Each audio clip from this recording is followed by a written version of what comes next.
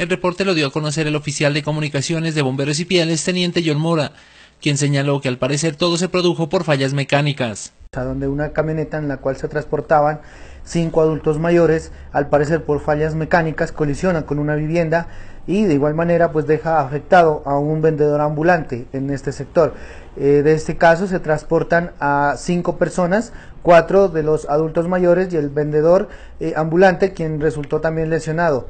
Estas personas al parecer vienen del municipio de Carlosama, eh, se movilizaban en una camioneta de la IPS indígena. Dijo además que las personas venían en la camioneta y llegaban a Ipiales para una cita médica. Lastimosamente se presenta este hecho, eh, ya están siendo valoradas en el hospital, según el reporte que tenemos de los compañeros.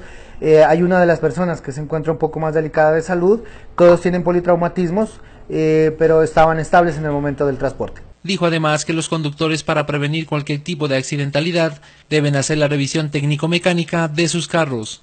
Sí, en estos casos hay que recomendarles a todas las personas que se van a movilizar en sus vehículos para que eh, hagan la revisión de sus automotores. Se, debe contar con todos los documentos, la revisión técnico-mecánica, aunque en este caso vemos que es un vehículo eh, prácticamente eh, de últimos modelos, pero de todas maneras sí se debe hacer las revisiones pertinentes, estar pendiente del mantenimiento, revisiones de frenos, del aceite, aire de las llantas, las mismas llantas para que no se vayan a ocasionar accidentes.